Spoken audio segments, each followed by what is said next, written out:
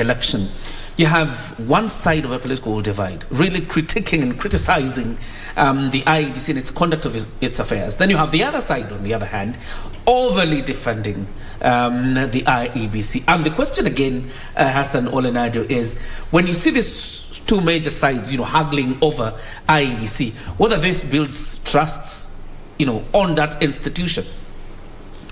Yeah, it's actually worrying. It's not. It's not something good that we should um, uh, allow to continue if there are a me- mechanism of stopping it, because um, when you have players, you know, in the field, mm-hmm. and uh, one player is deliberately attacking the referee and the other one is praising the referee, it worries the spectator, the person who is actually looking at it from the outside, because you may not know what could, what is actually going on. What we are not saying as Kenyans, uh, we are still kind of. Um, being careful to say things that are a little bit uh, difficult to be said. That there still there seems to be uh, certain things that these political actors know which we don't know.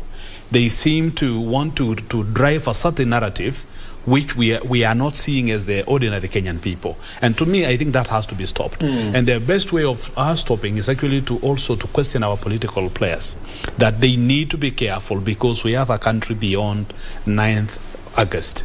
We really don't want uh, a symbol, uh, it may be symbol, but of course a serious uh, uh, one day activity to, de- to destroy all what we have been working on for the years we have lived in this country. Mm. So to me, I think it is important that we, we engage uh, the political class and actually persuade them not to continue doing what they are doing because what they are doing is not right. Mm. We cannot uh, continue. Um, criticizing and actually creating uh, perceptions that maybe this group uh, are associated with this or painting the commission to be allied to one particular group and the other one are seen as the outsiders. They don't know what's going on or they are blaming the relationship between that group and that group. To me these are purely perceptions which we have to to resist as a country. Mm.